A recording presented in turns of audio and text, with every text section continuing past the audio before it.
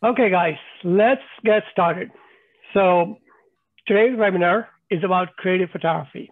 And we're going to talk about creative photography. And we're going to talk about this in conjunction with all the creative tools you have at your disposal. So before we get started, I wanted to tell you guys that uh, whatever you hear today is in some way or shape going to be part of our special offer that uh, we're running on Visual Wilderness. And I think one of the co-hosts can put in a link to that. And if you're interested in finding out more about what you learned today, you can go to the special offer and grab one of the tutorials. You can also grab a streaming service subscription for 33% off um, with a discount code that somebody's going to put into the chat box. The discount code is N2020. And trust me, I'm hoping everybody's going to like that discount code because we do want to end 2020. All right, so let's start out with a question. Uh, before I start out with a question, let me share with you a little bit of agenda. So who's going to present today? Um, we are, my name is Jay Patel and my wife Varina Patel. We own Visual Wilderness. All the photographers that are presenting here are our partners and they put in just as much work on Visual Wilderness as we do. And Austin, Kate, and Ugo are going to be presenting today. Uh, we have other partners who also present. So if you are interested in finding out about more about our webinars, please make sure you're subscribed to our newsletter. Okay. All right, so now let's start out by asking the question, what is creative photography? Well, this is not an easy definition of to give you what is a creative photography because it's subjective. What is creative for me is not going to be the same as what is creative for Kate or Ugo or for some of you, right? So when we were trying to create a creative photography tutorial, Ray and I had a pretty good discussion. And some of that was pretty testy because we didn't agree on creative photography definition. So in the end, we sort of came to an agreement saying this is what creative photography is. So I'm going to share with you a video of what we think creative photography is. And so here's Varina. So let me open this video up. So see, I'll share this video screen now. So see, new share. All right. Tell me if you guys hear the sound. Yep, we're good, Jay. Creative photography is notoriously difficult to define. Jay and I actually had a long conversation trying to work out a clean definition of creativity. In the end, we decided that creativity is about expression. It's about experimentation, discovery, the joy of creation. Creative photography is about pushing boundaries and looking outside of the normal photographic process. Maybe you're arranging elements in your composition in an unexpected way. Maybe you're using natural elements like water or light or foliage in an unexpected way. Maybe you're using camera settings that you wouldn't normally use or equipment that you haven't used before. Push your boundaries. Think outside the box and more importantly than anything else, have fun. A lot of times when we're working in the field, Jay and I will take a couple of initial shots of our subject to get to know it a little bit, and then we'll start to push our creativity. Maybe we'll decide to underexpose our image intentionally in order to create a more moody feel. Or we might overexpose in order to create an airy, light feeling. Creative choices often happen in the moment, so run with it. Don't be afraid to try something new. Here's some shots that Jay took in Fiji of a crab. It was a beautiful portrait of these gorgeous red crabs in their natural habitat. But he wanted to take it further.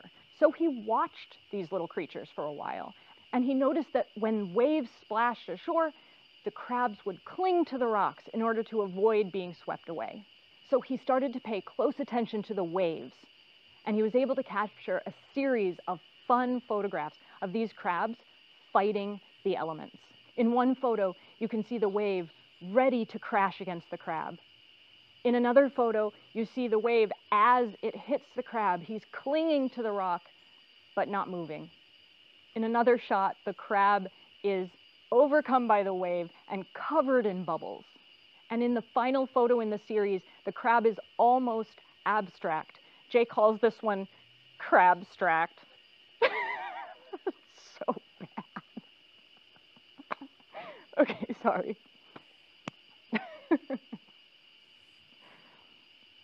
okay, in order to capture this fun series of photographs, Jay used a long lens, a very fast shutter speed, and a little bit of creativity. So let's talk about the broad variety of options that you have to take your photography a little bit further. All right, so I wanted to see if you guys have any questions. Um, let me go back to my uh, presentation. So there we go. All right, see if you guys have any questions so far. yeah, right now I was having fun at my expense, which happens a lot. Um, anyway, so two things to take away from that video. Um, one of the things is that, hey, creative photography is subjective. And creative photography requires two things. An intent means you really have to try something different and something outside your normal workflow. So an experimentation, okay? So without these two things, it just becomes a normal part of your workflow. So it's not very creative. So when you define something like this, what it allows you to do is it allows you to see things differently. All right, so let's see. So I'll give you a couple of examples. Uh, these are the same, this photo was taken at the same location in Iceland in two different years. Now, the photo that you see on the right um, is creative photo. The photo you see on the left is non-creative photo. Now the question is why? Well, the photo you see on the left is a traditional landscape photo. I took the photo with the intent of getting everything sharply in focus, highlighting the location, the flower, and all my camera settings, everything was done as if I was a regular landscape photographer, right? And that became really not very creative for me. The photo that you see on the left used number of steps that were outside my normal workflow. First of all, I used a really selective focus. I only focused on the church. Everything else is sort of blurred out. Then I used a special lens. This little glow that you see on the church is, is not an effect that was created in Photoshop. It is actually in-camera effect created by Lensbaby. And then um, I went a little bit further. I aperture bracketed this photo and I create, take several different apertures to create this different glow, different depth of field, different kind of details in different areas. And then I put it together in Photoshop to create this image. So this image looks, has a number of different creative options, all the way from post-processing to cameras to equipment, right? So that is what I'm talking about when I'm talking about creative photography. At least that is a definition we're going to use for this particular webinar, okay? Now, let's talk a little more about what is a creative toolkit. Now, how do you be, how do you think creatively like this, right? Well, it's not always easy to be creative and be landscape photographer because let's face it, landscape photographers rely on these things to be creative. Like in the photo that you see previously, I I went there during the season when it was flowering. So I knew that flowers were going to grow. I had great clouds. I had great geology, good lighting, good weather to work with, and everything worked out. But this is these are the things that you don't always control, right? These are the things you cannot control. This is not in your control. We've been to Iceland where it rained for seven straight days, right? And you still have to come up with a photo. So what are the things in your creative toolkits that you can control, right? So these are the things in the creative toolkits that you can control. This is in your hands. The choice of the lenses, choice of camera setting, post-processing, equipment, uh, photography gear, composition and subject, what to shoot, how to shoot, right? These are all the things that you control. So the, our course or tutorial that is on sale is going to teach you how to take the things that you can control out of your creative toolkit and use it outside your normal workflow. And use it in conjunction of the things that you can control, which are these things. So no matter what these things do, whether there's clouds or no clouds or light or no light, you should be able to use the things that you can control in your creative toolkits and be creative. So I'll give you an example. You see the background behind me. I'm sitting in a helicopter. This is actually a bubble helicopter. Well, I'm not really sitting on it, but it's just projected on the green screen. And notice the light in behind me, right? It's blue sky. There's hardly any clouds in the sky. And we paid a ton of money to rent this helicopter. And why did we do that? Well, we wanted to take a photo like this. So this is a photo that was taken from this helicopter that you see that I'm sitting on. And yes, that is live. That is actually Varina Patel. Um, and that is Varina Patel standing and marooned on a, a sandbar, which is no more than maybe 100 feet by 50 feet, right? And we specifically rented this helicopter in the middle of the day around one o'clock or two o'clock, something like that. And we went there because the sun was directly overhead and I wanted to take photos like that. And you can tell by the shadow, which is almost underneath Varina, right? So, so these are the things that is outside our normal flow. And this is what happens. Now, I know some of you may be thinking that, hey, what about uh, you, you can only take photos like this if you're in tropical island in Fiji and there's a sandbar nearby and you have enough money to rent a helicopter. Well, not quite.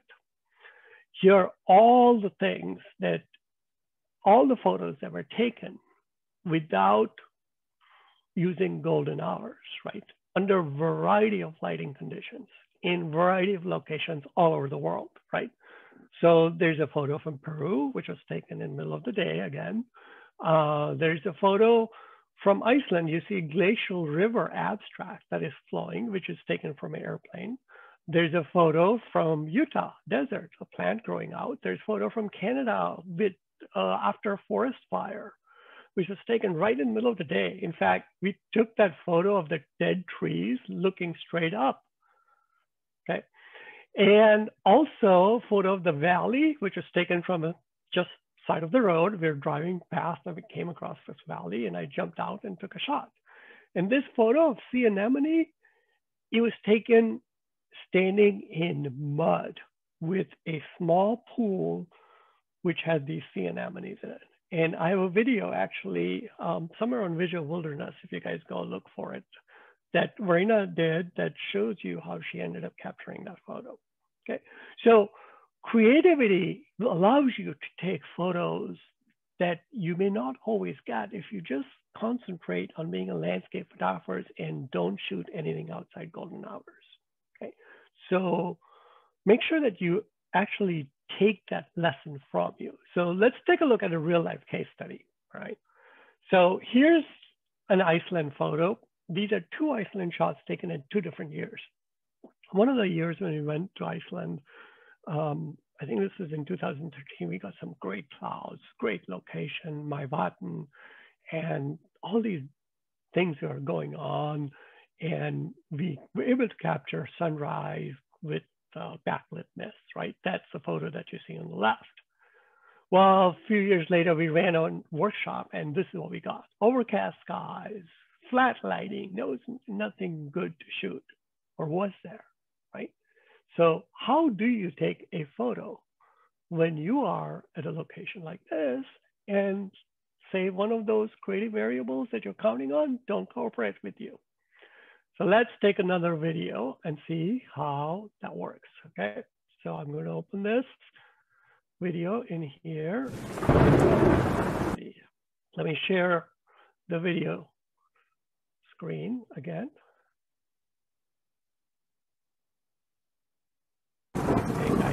Tell me if somebody if you Yep, guys we're hear good. the sound. All right. So when we were in Iceland, we came across this geothermal areas that are really very well known in Iceland.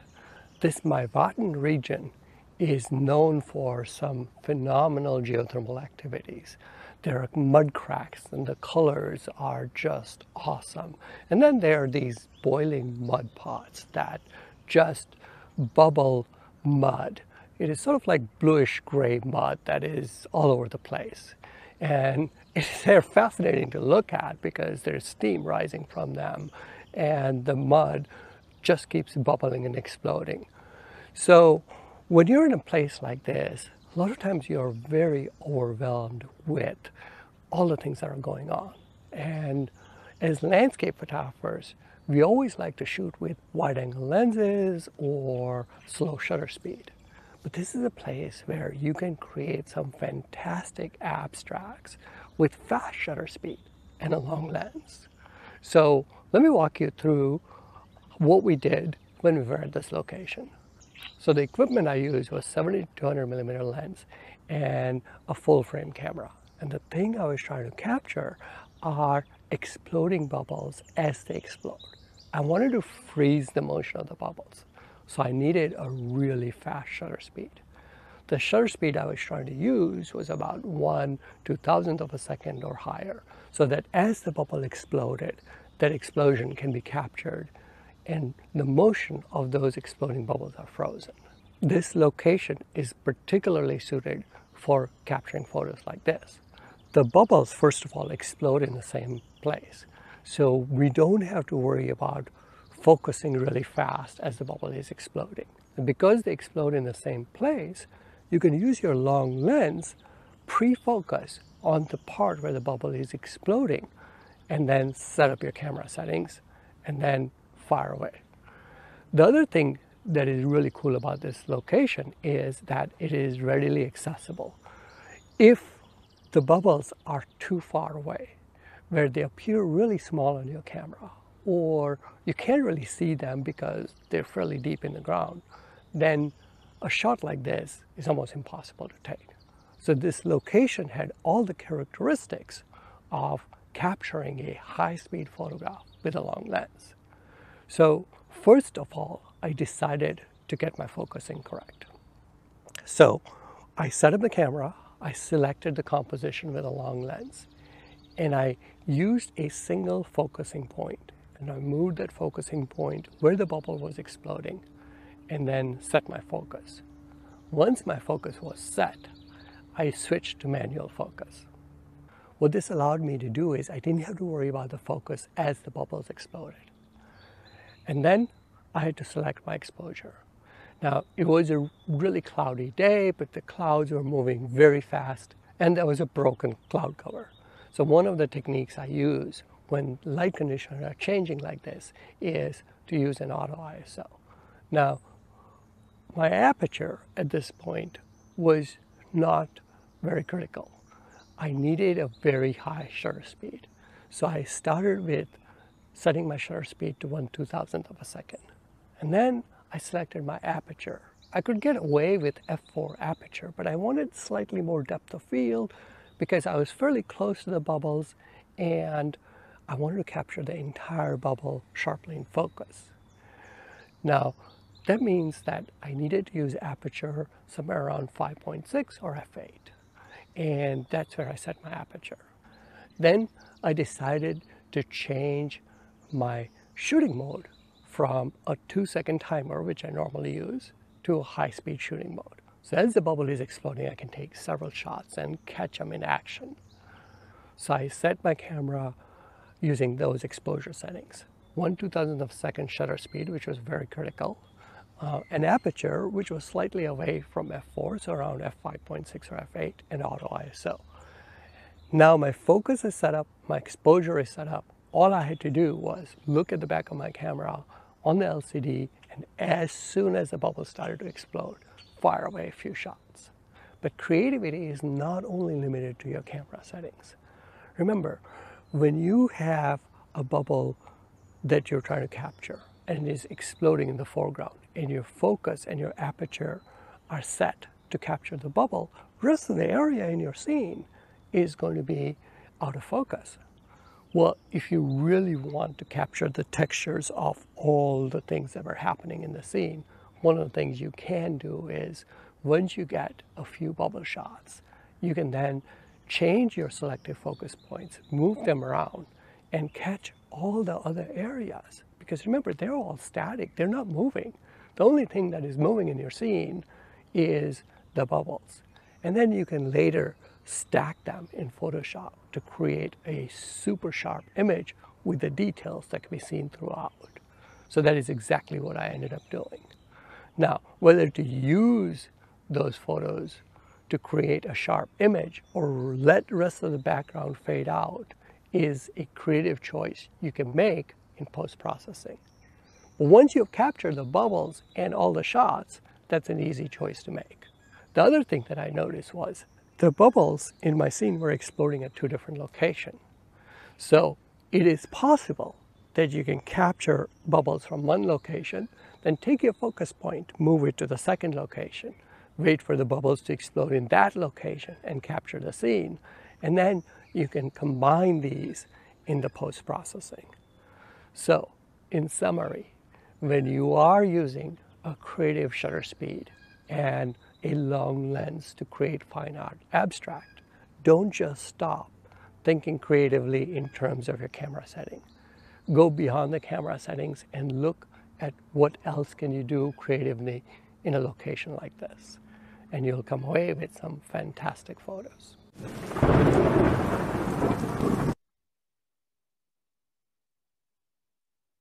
All right. So, any questions for me?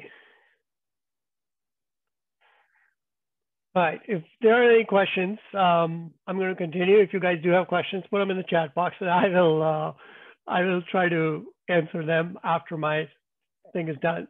So, when you're out in the field, the way creative photography works is we have these toolkits that we showed you about, like these ones. And for every one of them, we have a list of things we can do that is outside our normal workflow. And we have accumulated that over the experience of shooting with 20 years of experience. And then we kind of carry it around with us. And when we find an opportunity where we find things that are not in our control, like the light and weather, when opportunity presents themselves, we will pull out one of those things that we have done in the past and use it as part of our creative workflow. And that is how a creative toolkit works. Okay. So um, again, there's a lot more about creative toolkits in our tutorials if you guys are interested in learning. But let's continue with our webinar and say, what else can we do? So the next up on the agenda is Austin. Um, and Austin is going to present his creative workflow and how he looks at things and comes up with things that are different. But before we do that, I um, need to give a shout out to Frederick Van Johnson and This Week in Photo for being partners with us in this free webinar. Um, we hope to do more with them in future, so stay tuned. So Fred, if you're listening, uh, sorry, Frederick, if you're listening, uh, welcome and thank you for uh, giving a shout out to our free webinar. All right. Having said that, I am going to turn this over to Austin. Austin, are you ready? Yep, I am. All right, so um, I'll stop the share. And Austin, it's, the screen is yours. Right. Can you see my screen? Yes. Perfect. Let me reduce everybody's size. All right. So um, I'm going to be talking a little bit about um, some creative effects for nature photography um, via post processing. So, Jay just had a great um, little presentation there on some creative effects you can do in the field. I'm going to be talking about some post processing things that you can do.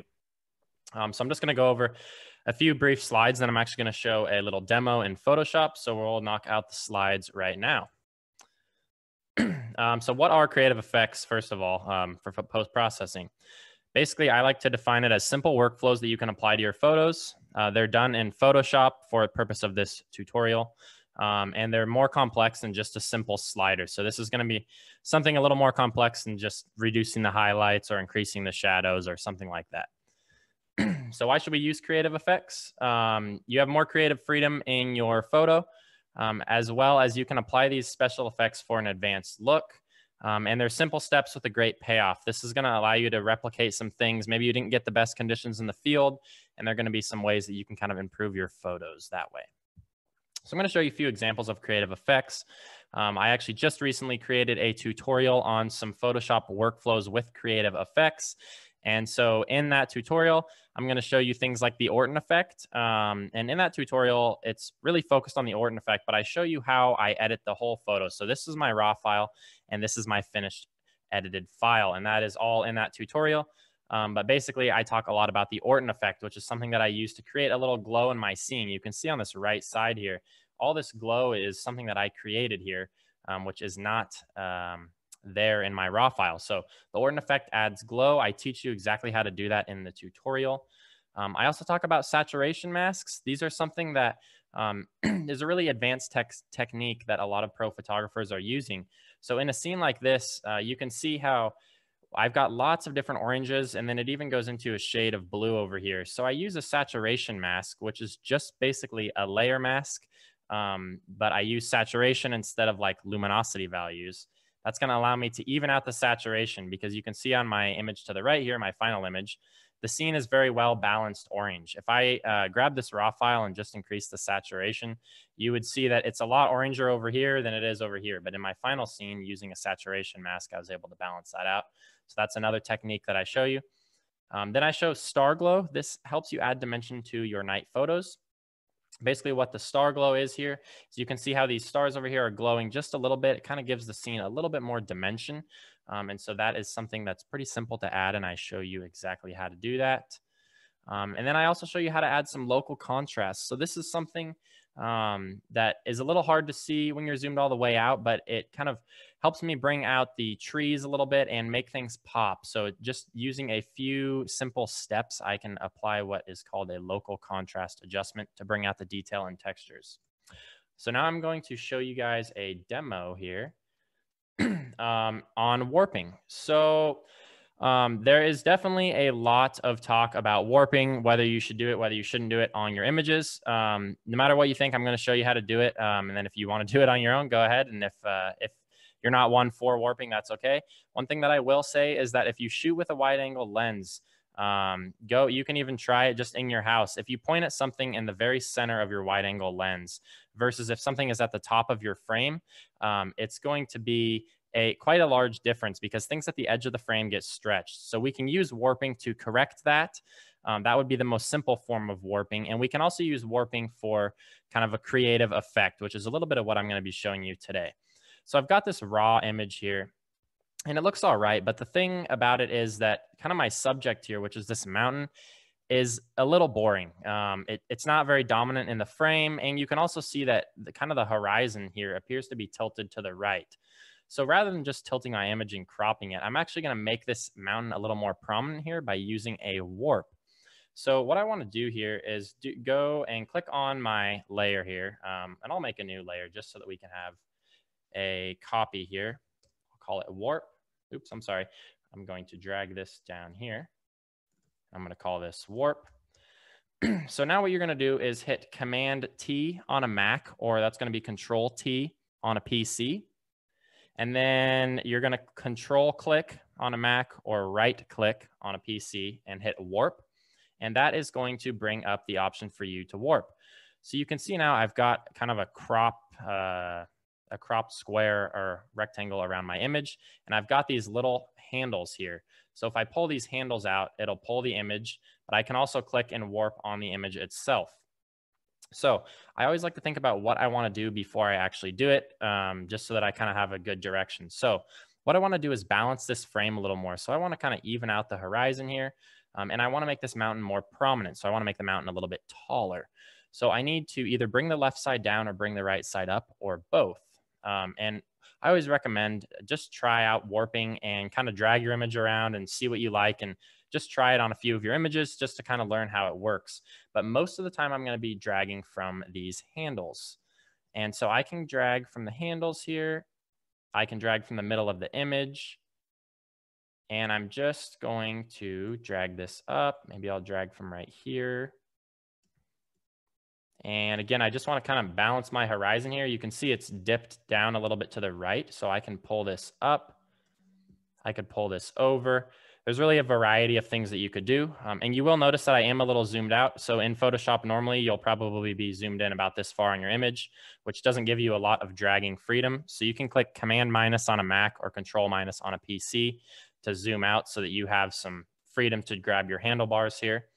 Um, and you can just pull this around. So there's a variety of things that I would do to this. Um, but just for sake of kind of this this webinar here, I'll keep it short and just show you that. I've also got two other photos I want to show you a little technique on. So I'm going to hit enter here though, and we can toggle the before and after.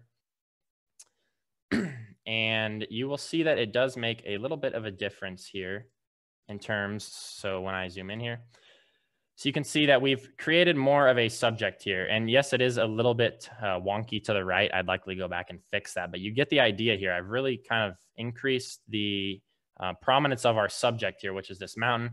I've made it look a little bit cooler because it is a little steeper. So that's one way to kind of add interest to your scene um, that maybe you got good light, but the subject wasn't that interesting. So you can add a little interest doing that. Now, another reason why you may want to warp, I'm going to show you on this photo here, is if you want to get rid of a problem spot on the edge of your frame. So this is a shot that I took in Death Valley. Um, I loved the light on this dune. This is uh, kind of the last light of the night. And then over here, it's dark because it's in the shadow. So you can see that this is kind of the, uh, the crest of the dune, I guess. but the problem is I have this big spot of sky. And now you're probably thinking, why did you shoot it like that? Um, there was no other way that I could shoot this composition without having this in the corner of the frame. Now, the problem with cropping this is that I'm going to lose a lot of my curve because I'd have to crop it about right here. I'm going to lose this last curve at the top. So instead, what I'm going to do is actually warp this to warp that corner out. Now, the one thing you do have to be careful of when you're warping is that if you do a ton of warping, it's going to reduce the sharpness on your image. Um, but generally speaking, Photoshop is pretty good these days with um, maintaining that quality. So again, I'm just going to do Command T on a Mac, Control T on a PC. Then I'm going to Control click on a Mac or right click on a PC. I'm going to click Warp. I'm going to zoom out here. And I'm just going to work this up and over. Again, I don't want to go one direction too aggressively here, but I can bring this out just like that. So now that area is too big to do uh, a spot heal or a clone stamp on, which is the reason why I'm warping it here. But now you can see that uh, just that one simple step has really simplified my photo because um, and of course, this is everyone can have their own opinion, but I think that the blue sky really hurts this image right here. Uh, it makes it much more of a simpler shot by doing this simple warp. So the last thing that I want to show you here is on this image. I just want to show you kind of an image where I can warp the whole thing. And this is a raw file here. Uh, I'm going to go ahead and duplicate this again. And I'm going to do the same thing.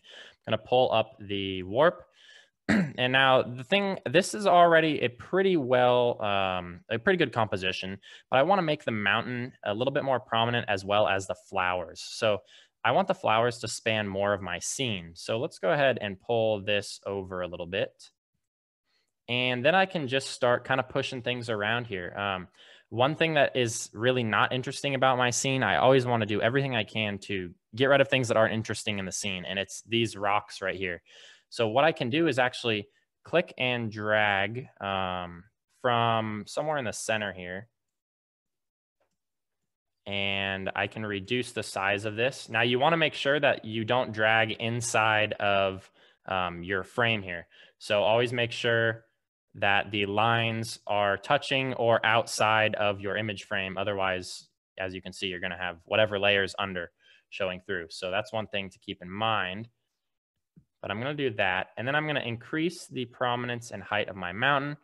Now the mountain's also leaning to the right, um, so you could pull it to the left if you want.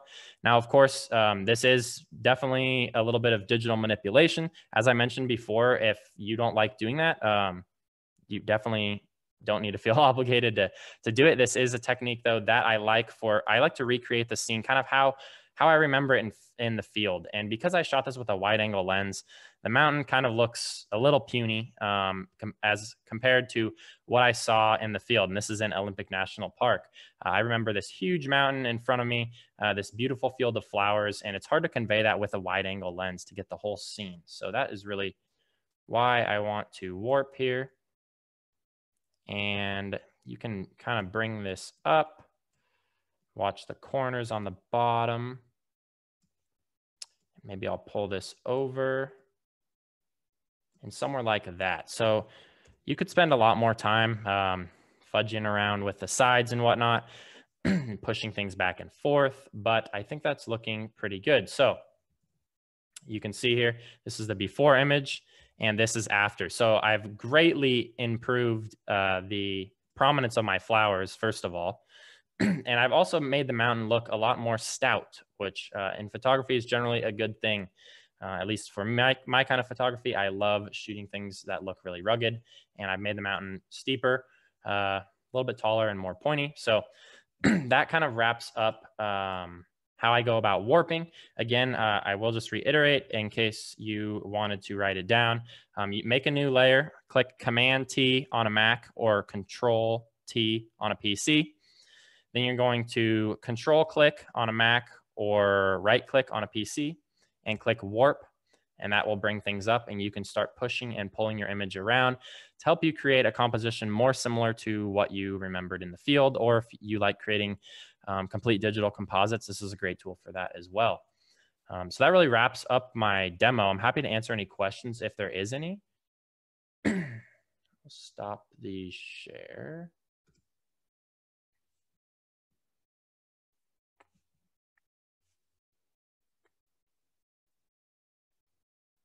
I think you're, oh, there you go. Yeah, thanks, Austin. Um, don't believe there are any questions at this point in time, but if you guys do have questions, please uh, feel free to ask them.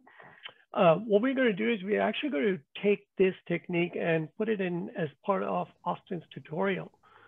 So I send a link to everybody to see where they want to purchase a tutorial form. And he actually also has star glow technique, Orton effect, everything um, described that he described today in the tutorial as well. All right. So thanks, Austin. So next up is Kate. Now, remember, there are times where we go out in the field and we look at and say, oh, here's this great scene, but I wish it was more artistic. I wish it was X, right? X is whatever you want. Well, I can tell you that there are some things that just stand out as being works of art. I go to a local hospital, and when I go in the hallway, I see all these photographs that are in the hallway, but they're not normal photographs. They are processed as tiny planets.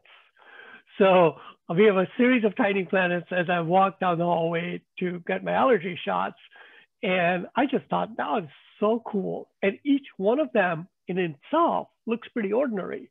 But when you work with a plugin, when you work with artistic effect, it looks phenomenal. So Kate here is going to demonstrate how to make things look phenomenal. That's a lot of faith right there. all right, Kate, it's all it's yours. Either going to be phenomenal or a little crazy. So. All righty. Can y'all see my screen? Yep. Okay.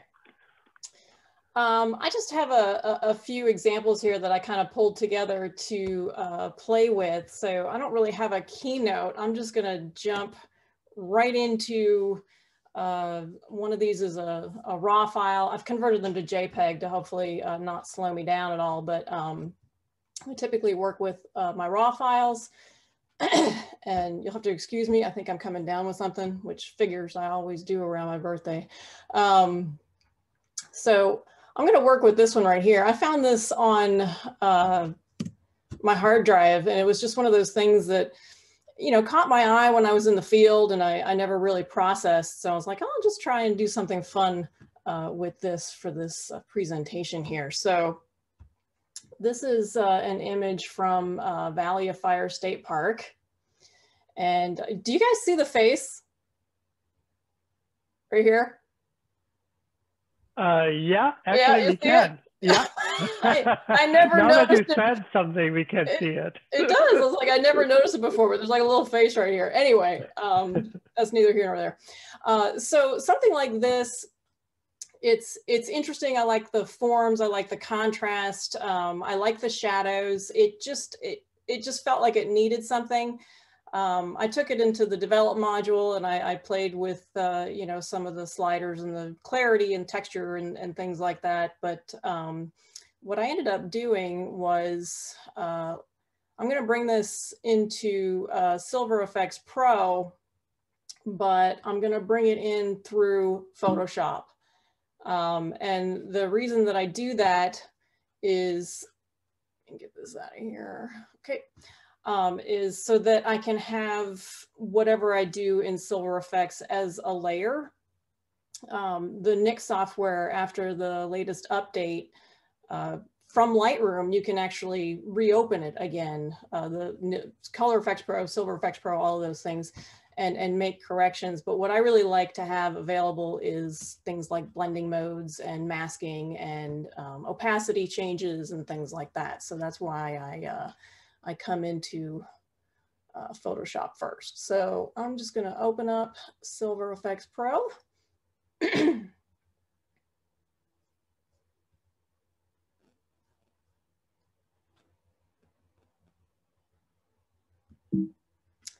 And it did this to me last time, y'all. Sorry. If you drag the window, the Silver Efex Pro window away, um, right behind it, I think it will say that Nik Collection needs an update. Drag it like way off your frame. I just updated it. Like every day, I feel like, honestly. That's usually what works for me. But if not, I'm not sure. It is, it has decided to freeze up everything. So I apologize, Jay. No worries. Do you want to try this out and I'll have Ugo go first? We can swap the order out. Hang on, let me just see if this works. All right. Because we have we have options. We can we can make things. I could actually show some more videos and quiz people about how did I take the photo. All right, give me 30 seconds. right. and we'll try this again without the explanation. Here we go. Um, sometimes it's the, the Nik uh, selective tool and not the Nik program itself. So we'll see if this works. Yeah, ha There we go. ha. Yeah, it's a selective tool. All right, no more selected tool for me today. Okay. So um, what I typically do here is like I come in and and kind of check out some of the presets because you know I mean presets are they're a good starting point. Uh, and so I played with this this morning and what did I end up with? Uh, I think it was full dynamic range harsh, which is actually not something that I normally use. Uh, but I really liked the way that it kind of balanced out the fact that the top portion was darker than the bottom portion. But it really brought out uh, the textures that I was interested in and the contrast. And I kind of like the green filter. It darkens it just a little bit. So I'm clicking that green filter right there. And I might just do a little bit of copper toning, copper tone, and click OK.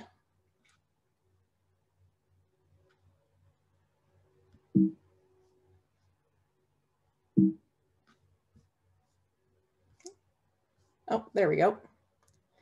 And so that's my Nik layer. And what I like about doing it in Photoshop is I get the option of coming down here and running through the blending mode, which is a lot of fun. Um, luminosity, when you use Silver Efex Pro, Pro, luminosity is actually pretty cool because it will apply that whole kind of grunge look that I just went for, but it gets rid of the black and white color. So here's without it and here's with it. Um, so even if you're not interested in turning it into a black and white, sometimes it's fun to use that program just to get that uh, that layer and that look. But I think it's nice. It's a it's a different way of looking at the same subject, um, and I think it's an improvement. All right, so moving on.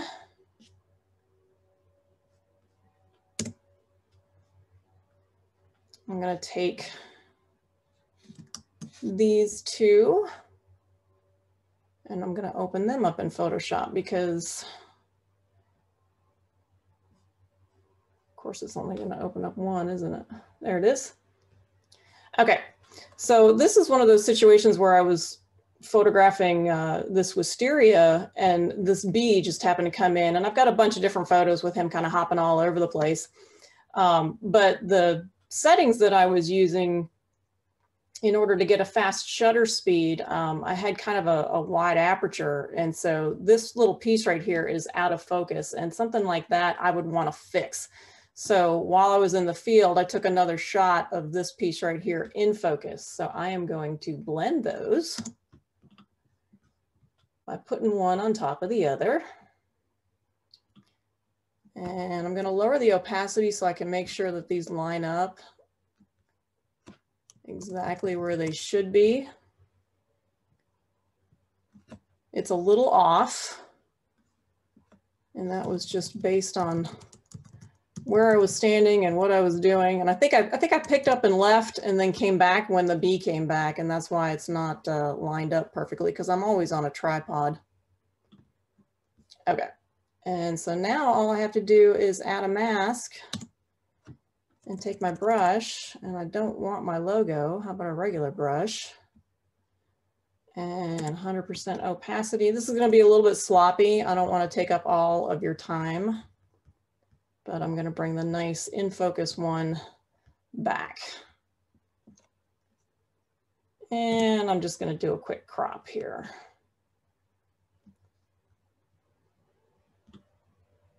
There we go. Now, something like this, I thought, you know, my typical workflow is to make it look nice, you know, make it look normal and nice. And then I'll look at it and go, okay, is, am I happy with that or do I want to take it further?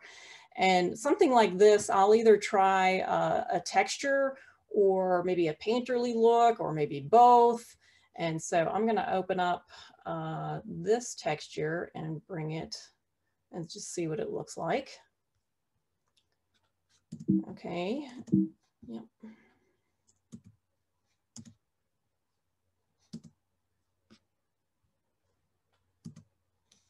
There we go. My move tool, and I'm gonna drag it, and I'm gonna drop it right on top of him. And it's pretty big. I, I sized down that bee photo so I could work nicely in here. So I'm going to make this fit and you don't have to, you don't always have to make it fit. You can do whatever you want. And there we go. And so here I'm going to go running through my blending modes and see if anything just kind of jumps out at me. Not really jumping. So I'm going to go back to normal and add a mask. And again, I'm doing this faster than I normally would, but don't want to bore y'all. So here we go. I'm going to do about a 20% mask and I'm just going to start tapping to reveal this little guy behind here.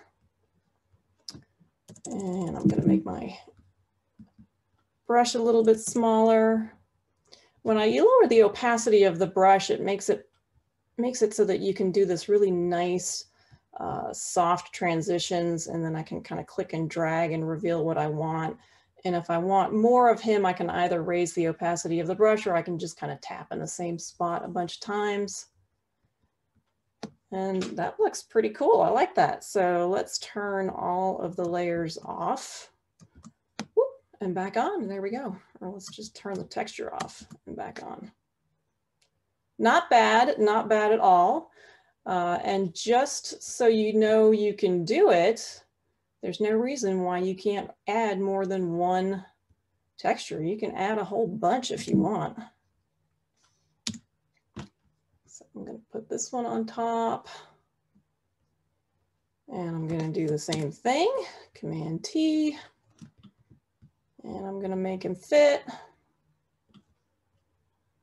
I've got some fun textures too. I've got some that are called It's Raining and It's Snowing. And so you can add snow. And I've got some bokeh ones. And it is just, I'm like a little kid in a candy store. And I actually like the look of overlay. That looks nice. And I'm going to add a mask to that one too because I do want to remove it. Again, big, big soft brush. Just kind of remove it a little bit. There we go. And maybe a little bit more in here. So this is just, you know, kind of a, a, a jump into my creative process. So I come in here and I play with these things and sometimes I'll put on a, a, texture and I, and I don't like it at all. I'll try the blending modes and, and try masking and it just, uh, it just doesn't work. And, and there's no reason why, why you have to stick with something. So you can always come in here and do something different. Okay, let's do, have I got time for one more, Jay? Sure, why not?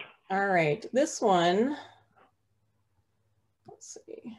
Uh, Kate, we have a question before you proceed. Do you oh, make sure. your own textures or do you purchase them? Um, I like went on like a texture bender for a while there. I have so many that I purchased. I'm almost ashamed to talk about it. um, so yeah, I'm there with you, Kate. I have about 2,000 textures I yeah. bought, so don't worry about it. Okay, it's, I don't feel so bad now because that's about yeah. how many I have. It's like two or three thousand. It's crazy. Yep. Um, yep. So I purchased a lot, and uh, I have a couple of favorite uh, companies that I purchased from. Um, I love Two Little Owls Studio. It's a nice lady out of Atlanta. Uh, French Kiss textures, flypaper textures, and things like that. Um, about a year or two ago, I started making my own. Um, I actually make them uh, on my iPad. I use an app called Procreate and I have started kind of painting and drawing in that app uh, and it's a lot of fun. So for this one, I thought that this might uh, look kind of nice with a painterly look. So I'm gonna bring this one into Topaz Studio and just give it a real quick, uh, what did I end up with? Little Van Gogh. I think it was Van Gogh. All the way at the bottom. Here we go.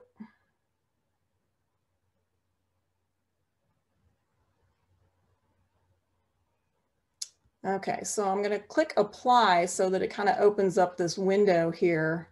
And then I'm going to come down. And the only reason I'm going through this so quickly right now is because I did this once already this morning. So um, the Van Gogh really, really brightened uh, this yellow up, I think, a little bit too much. So I'm actually going to target yellow in this program uh, and bring the lightness down. So it just kind of tones that down and maybe desaturate it a little bit. Um, some of the painterly looks can do that. They can kind of oversaturate things. So I'm going to click accept and it'll just bounce it right back to Photoshop. Um, and I'm going to go ahead and flatten this. And again, wouldn't normally do that, but I want to show you something else that's fun is I am going to light this lamp. How am I going to do that? With a little Luminar AI. Uh, this is in Luminar 4 too, so if you haven't uh, upgraded to the Luminar AI, don't sweat it. It's in Luminar 4 as well. It's just in a different spot. So I'm going to click Edit, open this up, and I'm going to go to the Creative section here. And I'm going to click on sun rays. And I'm going to place my sun center right here in my lamp. And let's see, nice glowing sun. Maybe increase the number of rays or decrease the number of rays. Warm them up a little bit, just a smidge. And let's see, reduce the penetration just a little bit. Kind of tweak it right behind that, that bar there, or you can put it, well, no, it doesn't look right there. We'll just leave it right there. Okay, so now I have lit my lamp as well. How much fun is that? so now we have a nice bright lamp in the middle of the day uh, on, a, on a painted image there. So that is just a, a very quick little 15 minute dive into something that I will normally spend uh, a, a, lengthy amount of time with. So let me uh, stop sharing my screen here. And so we can see everybody. I'm gonna hand it back to Jay. Do you guys have any um, questions? I haven't had a chance to look. Uh, the iPad app. Yeah, I use an app called Procreate. Um, it has tons of uh, preset brushes that you can use, painterly brushes and uh, you know, charcoal drawing and, and all kinds of stuff. And uh, it, it's amazing. It actually, me starting to do textures is what got me into drawing. And so now I actually draw animals and uh, landscapes and things like that on the iPad. I mean, who knew? you never know what you can do. Um, until you try. So uh, yeah, it's, it's, it's a lot of fun. And uh, I make them on there and I spit out a, a TIFF and bring it over to uh, my computer and then I can turn it into a, a JPEG or, or, anything else or just add it as a TIFF. But uh, yeah, it's, it's a really, a really handy app and a lot of, lot of fun to play with. So I have to say that um, Kate has almost like 12 or so tutorials and online classes on visual wilderness now. And she goes through a ton of these different techniques, textures, adding sun rays, painterly effects, um, her black and white photography class. And she also has a phenomenal um, Photoshop layers and mask class. If you guys don't know how to use Photoshop layers and masks, this is an excellent starting class for everybody. So check it out. Um, I'll put a link to all of that. Um, you can get all of that, or you can get access to all of that through our streaming service. I'll put, uh, Kate, if you get a chance, put your um, link up there for the streaming service. Okay. And uh, remember, End 2020 is a keyword to get 30% off the first year of streaming service.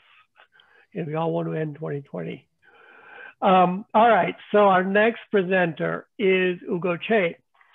Ugo Cei is a, is a travel photographer based out of Italy, and he's coming us to us live from Italy, his home.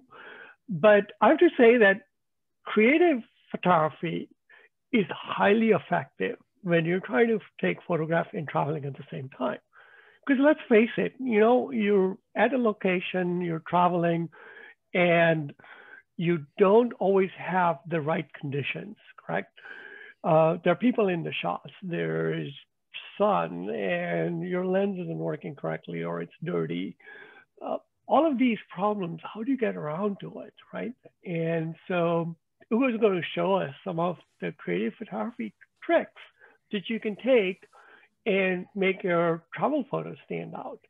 But before we go there, I have to tell you that Ugo's tutorial can only be purchased or accessed via our streaming service. So just let you know that there's no purchasing Ugo's tutorials. Don't email me saying where is Ugo's tutorial because he doesn't have one but his tutorial, his uh, online classes are accessible on his streaming service.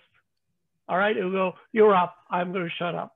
Thanks, Jay. Thank you. Thank you for having me. Yeah, as you said, you don't always get, uh, when traveling, you don't always get the luxury of perfect conditions like the, the one that I found with the, the photo in my back here that I took in Rome a couple of years ago. That was a perfect condition, but sometimes you don't get the luxury and you're traveling and you cannot just wait for perfect light, uh, perfect weather, and absence of people. So you need to to make do what, what with what you get. So uh, just to share my screen to, to start with, if I can find out. There you go.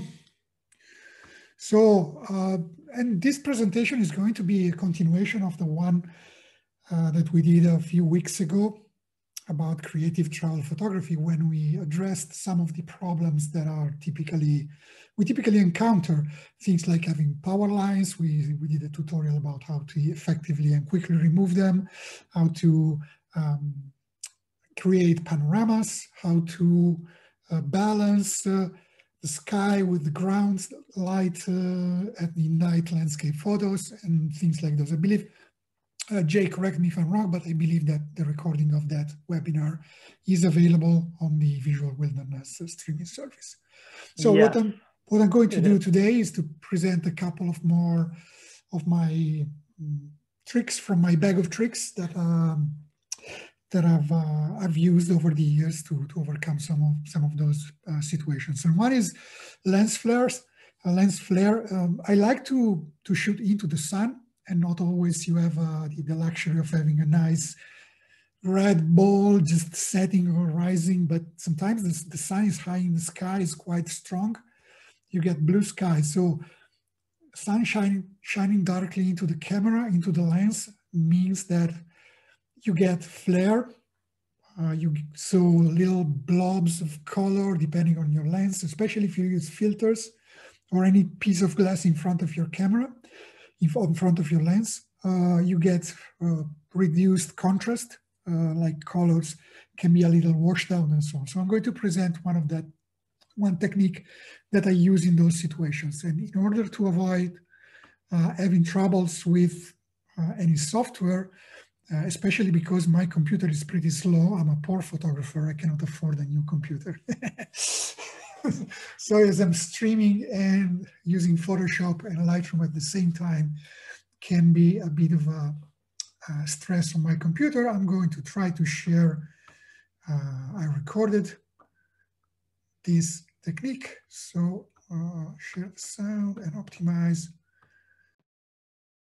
Let's look at this photo. And uh, I took this uh, pointing the camera straight at the sun. And in this case, I was using um, polarizing filter on my lens to uh, get rid of some of the glare on the surface of the water and increase the, the contrast in the trees. I also use a GND filter to darken the sky a bit. The combination of all this glass in front of my lens uh, created all those uh, artifacts, like those technically called ghosts, these little colored blobs of light. In addition to that, it also somewhat reduced the contrast on, of, on the scene. This image has already been processed a bit to, to increase the contrast, but uh, shooting into the sun typically um, causes the, the, the, colors to, to wash out a bit and the image to, to lose contrast. So what I did in this case was I took another photo a few seconds later with exactly the same settings. The camera was on full manual, but putting a finger in front of the lens so that I could cover the sun. And as you can see, the difference is quite uh, obvious here, right? This is the without the finger, this is with the finger. I got rid of most of the um, ghosting there and I increase the contrast. You can see especially the surface of the water uh, in, in this case is much darker. And also that the trees, the areas in the trees, they, they retain more of their contrast. So how do you create a composite image, blending those two together uh, in order to get um, the sky from the first image and uh, the foreground from the second image? Well, if you're starting from Lightroom, you can just select both photos and go to uh, Photo, Edit in, Open as Layers in Photoshop. If you're not using Lightroom, you can just open the photos from Photoshop directly or from Bridge and put them in separate layers in the same file.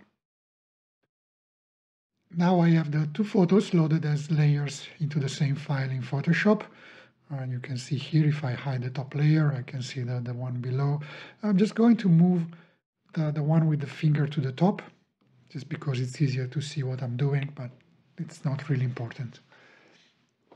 Uh, let me enlarge it a little bit. And now what I'm going to do is to create uh, a layer mask uh, for the top layer in order to hide the sky from it.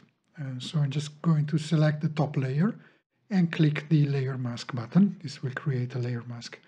And now my uh, the only operation I need to do here is to mask out, that is to paint black on the top layer in the areas that I want from it.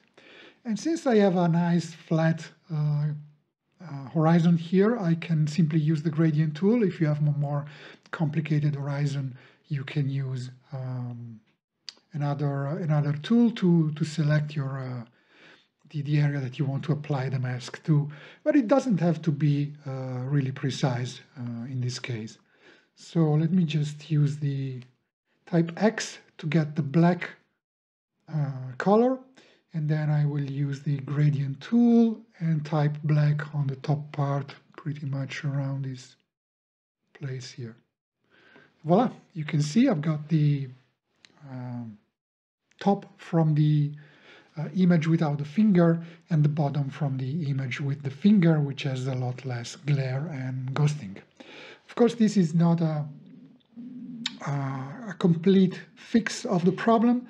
Still some residual ghosting that the sun was very strong there, but I can easily get rid of it, for example, using the detach tool. And make sure you select um, the image, not the mask where you're painting on, and you can just drag a little border around that area and select an area to patch it with. Make sure the content aware uh, option is selected and it will go into to fix that easily. Uh, another thing that this technique will not fix, unfortunately, is all those dust spots that were on my sensor. And since I was using a small aperture in order to get the sunstar effect, these are very visible. But this is, uh, these are easily fixed with the uh, healing brush. And for this, you need to select the bottom layer because this is where those spots are, not the top one which is hidden in those places. After saving my image in Photoshop, or maybe you can also flatten the layers if you don't need them anymore, and then coming back to um, Lightroom and applying some uh, a few more fixes. This is the final image where uh, there is basically no glare and no ghosting left.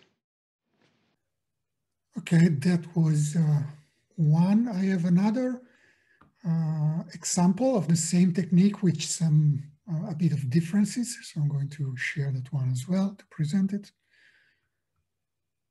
I wanted to show you another example of this technique. Um, again, two images, one with the, the finger on top of the sun and the other one without.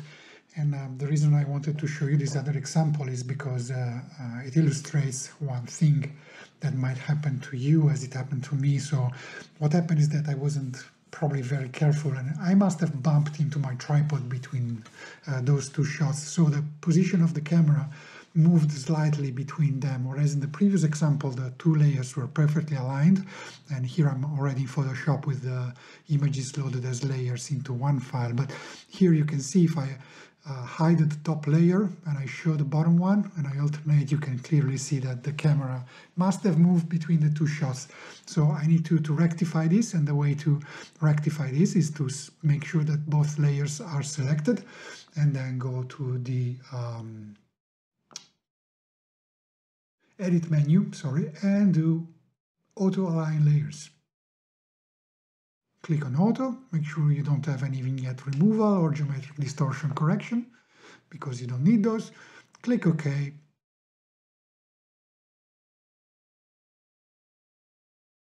And the two layers will be aligned, and of course I got, I'm going to lose some pixels, which I will take care of later. And again, uh, I'm going to add a layer mask to this one.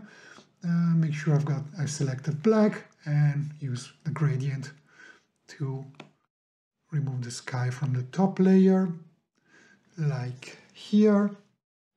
And then I can just proceed to crop out the unwanted pixel using the crop tool pressing the C. Like this press enter and I've cropped it. And uh, this is the result. The layers are aligned, but I've got rid of all my um, lack of contrast, discoloration, and ghosts uh, in the foreground. Uh, I still have uh, those bright circles there, which are due probably to all the dirt I had on my lens or filter, uh, which I was not very careful to uh, clean. And I cannot just uh, hide those and reveal the, the underlying layer because if I try to do it, uh, let's, let, let's try to do it and see what happens here. So I can use a black brush and go to the mask there, sorry, a white brush I need, so I'm pressing D, and go there and reveal the layer underneath.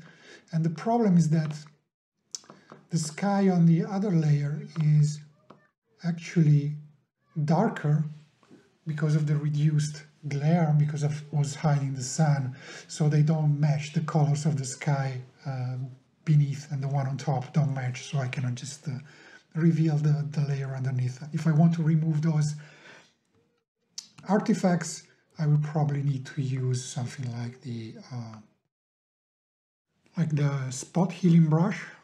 In order to do this I need to make sure that I'm selecting uh, the bottom layer because this is where the sky is coming from and then maybe make the size a little bigger like this and then paint over those to try to get rid of them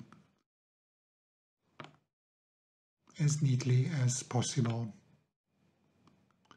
This can be a bit of work.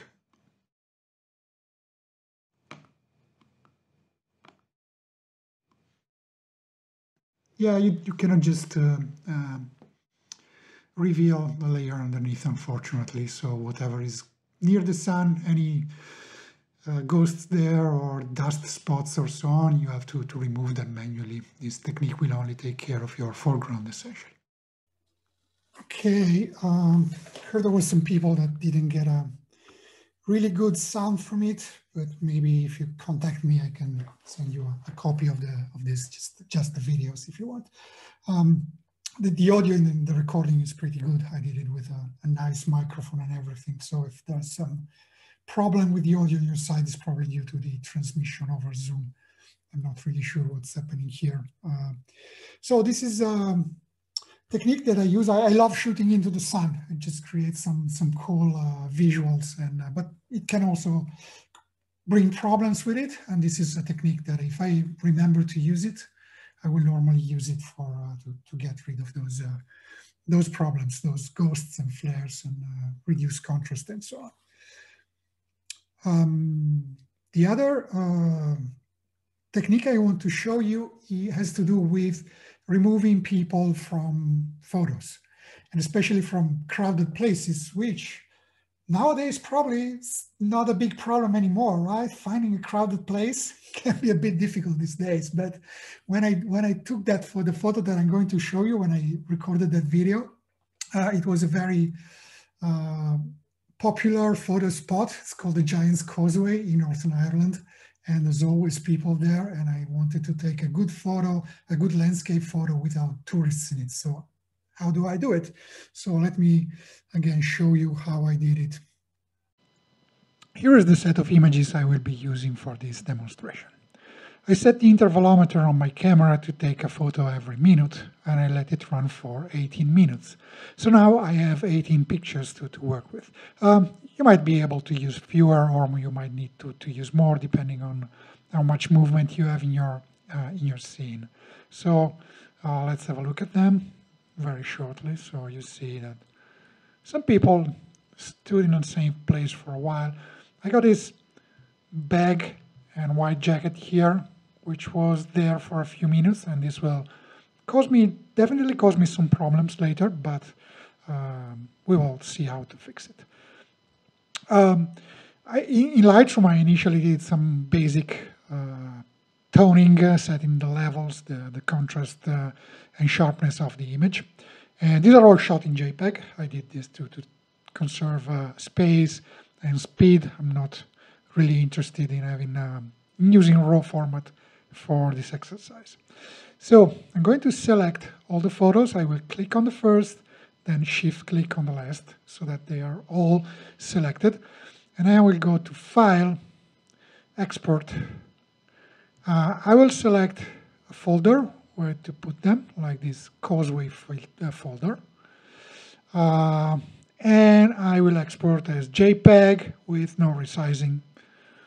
And after export, I want to show them in Finder. So I'll let Lightroom do its job. Lightroom has finished exporting the 18 files. I'm going to switch to Photoshop. In Photoshop, I'm going to go to File, Scripts, Statistics.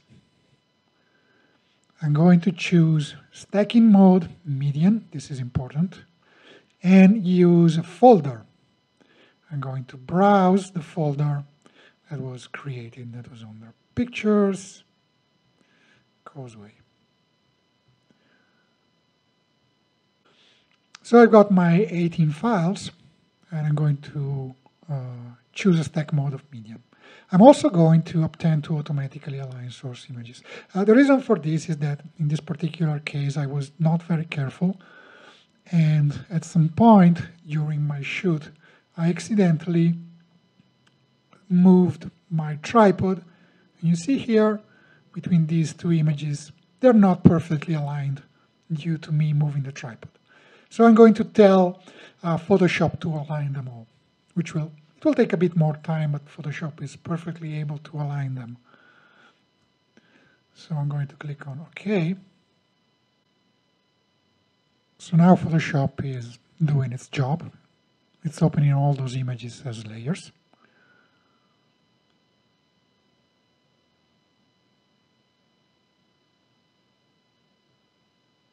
It's aligning them.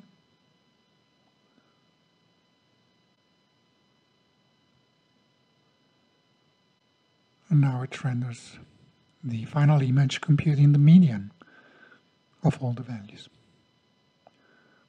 What the median operation do is to basically select for every, for the final image, selecting for every pixel, the one that is most, most frequently appears in, in all the images. So it will create an image which contains everything that is not moving. So here we are. Uh, this is the, the result of that operation. Now you can immediately notice that this image is not perfect. There are some issues. Uh, you see some ghosts here where people actually stood there for quite a bit. So Photoshop was not able to, to find sky bits to use. And here there's like a ghost of those handbags, the white jacket, and so on. So we, we will need to get rid of those. Uh, another observation is that the sea and the sky, they, they look a bit soft. This is because the, median operation averaged out a bit all the, the motion of the waves and the, the clouds in the sky. Uh, you might want to keep this in this case. It looks like a bit of a long exposure. Or uh, you might want to get rid of it. And we'll see how to do that in a minute. So how do we restore proper um, pixels, bits in, this, in these areas here? What we're going to do is we are going to select um, an image from our, light, our stack of images that only has background in these positions. So let, us try to find one, uh, one that has doesn't have this handbag. And mm, this one looks clean enough, and it might work. So I'm going to go to the photo menu, click Edit In, Edit in Adobe Photoshop CC 2014. So now we're back in Photoshop and we have two images. I'm going to uh, tile them so you, we can see them both. Mm, before we go to the next step, we need to take this image here, which is still a stacked image. It actually contains uh, layers.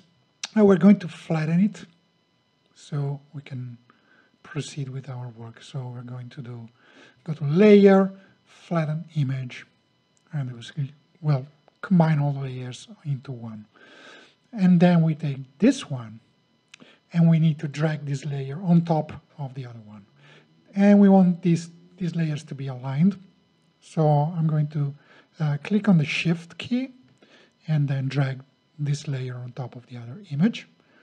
Uh, it says you want to proceed. These are different bit depths, but we don't care about this at, at this point. Uh, let's close this one. We don't need it anymore. So we now have our um, image, which is composed of two layers. On top, we have, uh, let's say, the, the one that contains the good bits for the sea and doesn't have the handbag. If we hide this layer, we can see the other one with the ghosts. Um, don't worry about the fact that two layers are a bit misaligned.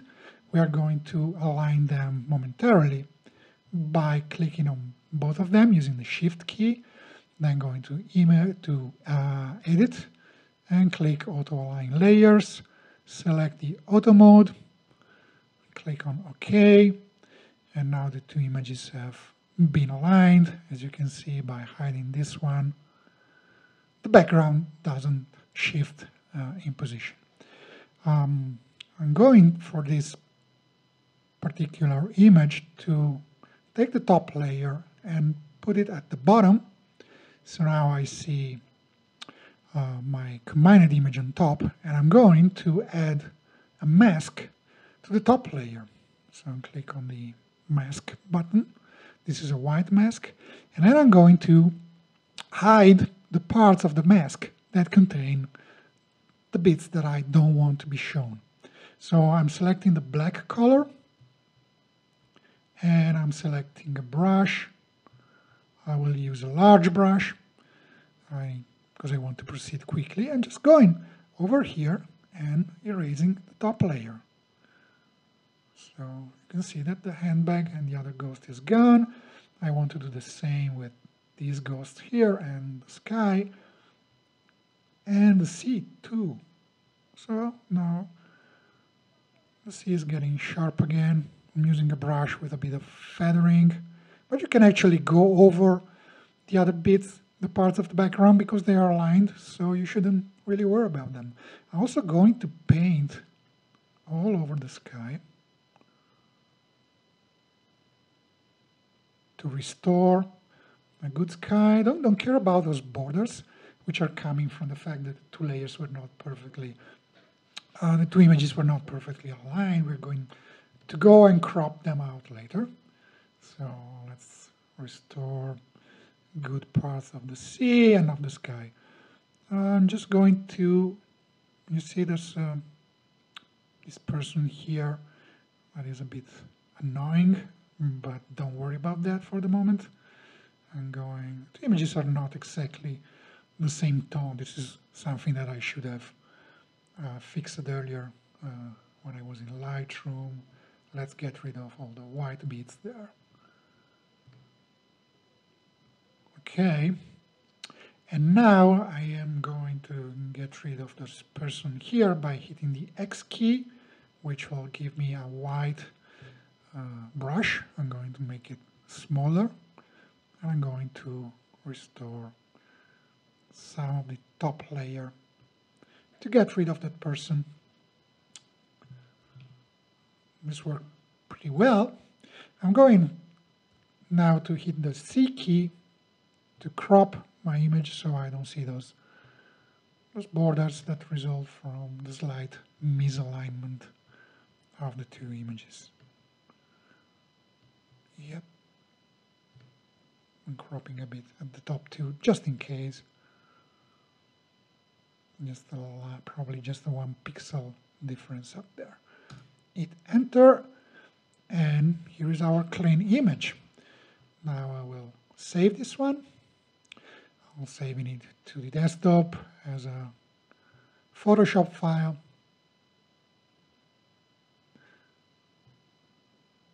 uh, wait a second, I forgot one step, that is flattening the image. We don't need all those layers now that we have finished. So let's go save. Save as Photoshop. I already had a previous version, so uh, I'm going to save as Photoshop or even as JPEG. I mean, I don't care at this point. Let's save as JPEG. At maximum quality. Okay, now let's go back to Lightroom and import this image again using import photos and videos. Uh, let's select the desktop. I've got a bunch of stuff in here, but this is the one I'm going to use, the JPEG. Import it into Lightroom. And here we have our image where we have removed all the people, uh, those annoying tourists that were in all of our photos. I finally did some work in Lightroom, converted the image to black and white, gave it a bit of a warmer tone, uh, work on the levels, the, the clarity, contrast, uh, and, and, so on to get the, the, the, final result that I, that I really wanted. My Giant's Causeway picture with no people in it. Okay, sorry about the audio quality. I don't know what was up there with the transmission, but as Jay was saying, if you will send the original files to, to everyone who signed up for it, so they will be able to see it full res and full audio. Um, saw there was a question about, right, uh, is this creative photographer, is this image manipulation? Um, my personal, for this type of photo, my personal opinion is that the, the Giant's Causeway is there. I mean, I did not create something that was not there, right? I just got rid of, a, of an annoying distraction that was people. There is no, it's a very popular spot and people will just go on those rocks to take photos on themselves and their friends or just watch the watch the panorama and so on. It's it's cool to be there and it's you cannot just ask those people to go away. So what can you do? Uh, i think this is for some contests. If i wanted to present this as a reportage type of photo of course it's manipulated but it's i did not create anything that was not originally there. I just removed anything that happened to pass in front of it for a few seconds. By combining multiple real images. So then up to you, uh, whatever, whatever works for you, I'm, I'm happy. So thank you, Ugo, for uh, that. And I wanted to wrap this up for everyone. One of the things I do want to say about Ugo's technique is we will send out videos to all who have registered for this uh, webinar. Um, but this particular technique is something that we use quite regularly. One of the best use of this technique is to shoot in the rain. Now, let me explain how we use it in the rain. You know, you, you have your front element and you take a photo in the rain, and obviously sometimes the raindrops will fall on the lens and will create distortions. Well, what we do is we, we take a cloth, we wipe it off, we take another photo, and chances are the raindrops will fall at a different place. And we take three or four photos and use exactly the same technique that Ugo showed to actually get a super clean image of whatever we're photographing. We photographed um, landscape photography using this technique in some of the most wet conditions that you will ever encounter. All right. So I just want to let you guys know that this isn't just for travel photographers. Um, creative photography like this, or creative thinking, out of box thinking like this, will get you photos that you possibly cannot get by just thinking golden hours and, oh, I'm just going to shoot like a normal landscape photographer. So again, all these techniques that you saw are available for our special offers you guys can go to Visual Wilderness and grab one of these things for like $29 if you want. Ugo stuff is available to uh, subscribers and uh, visual streaming subscribers. I put in a code if you guys want to sign up for that. Go ahead and sign up at a fairly discounted rate for first year. Um, we have almost 50 plus tutorials, online classes, and the thing about our streaming services, next time we put on a workshop and Padma comes and presents this exploding flower or some really cool stuff, it'll be available to you for free for streaming subscribers. All right. Um, that brings us to end of our presentation. I'm going to ask if I'm going to stop my share and see if people have questions um, while we're here.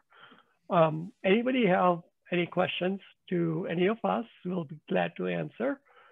And um, otherwise, we'll be doing more of these with uh, the TWIP as our partner, as well as on Visual Wilderness. Yeah, I have a question. Um, how can I get to that island? that's behind you. you just have to come with me next time we go there. we can either swim there, get a boat, or take a helicopter and drop you off.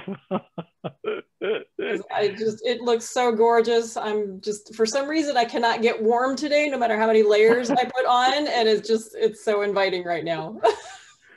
Thank you, everybody, for joining us. Uh, look for another one of our free webinars and online workshops coming up soon. All right. All right. Happy holidays, everybody.